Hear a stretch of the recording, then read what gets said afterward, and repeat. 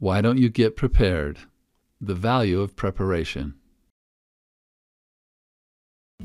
Every Friday in my current events class in junior high school, it was the practice of the teacher to allow those who desired to do so to give a verbal report.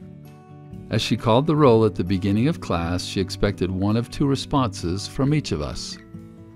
When she called out our names, we could either answer prepared, which meant that we were ready and willing to give a talk in front of the class, or unprepared, which meant that we were not prepared to talk. Because I was a bright young man, I quickly figured out this system. I found that I could avoid these talks by using the word unprepared. My friends in the class also used this word. We supported each other, as supposed friends do. Those who said prepared had to give a talk, while we who said unprepared didn't ever have to move.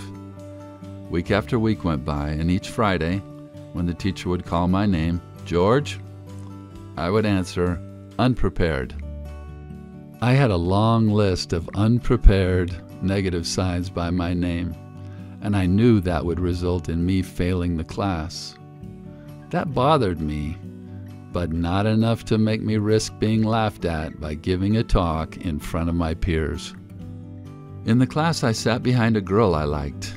I liked her to the point where I didn't even dare talk to her.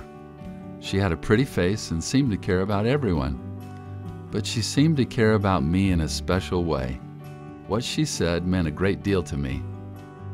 One Friday, as the teacher was calling the roll, she called the name George. In my usual way, I said, unprepared. At that time, to my surprise, the girl I admired turned around and stared at me. I quickly looked away from her, but I knew she was still looking at me. She waited me out until, not knowing where else to look, I looked directly into her eyes. As I did so, she spoke with firmness. Why don't you get prepared? Then she turned away. Her words seemed to explode into my heart. For a time, I couldn't even think. As I began to calm down, I found myself wondering, what does she care? Unless she cares.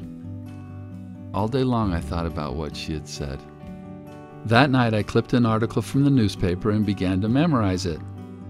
I was now motivated by the very force that makes the world go round.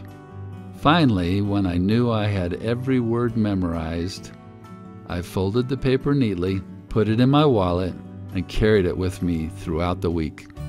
When the next Friday arrived, I was sitting up a little straighter because this was a different kind of day. The teacher was calling the roll with her head down so she could put a plus sign or a negative sign on the correct line. Finally, she reached the G's. I then heard my name, George. There was a brief second or so of silence, and then I softly responded, Prepared. The teacher stopped calling the roll and looked up at me. She looked amazed, and then she drew a line through the negative sign, making it a plus sign. The girl turned around and looked into my eyes and smiled. But now the glory was over, and I wondered, what in the world have I done? What have I said? For I knew that by saying prepared, I had committed myself to get up and perform. I found myself wishing that I hadn't said it. Time raced right at me as one by one the other prepared students gave their talks. Now it was my turn.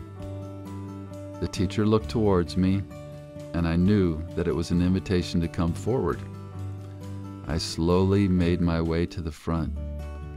I took a deep breath, lifted my head, and looked out at my fellow students.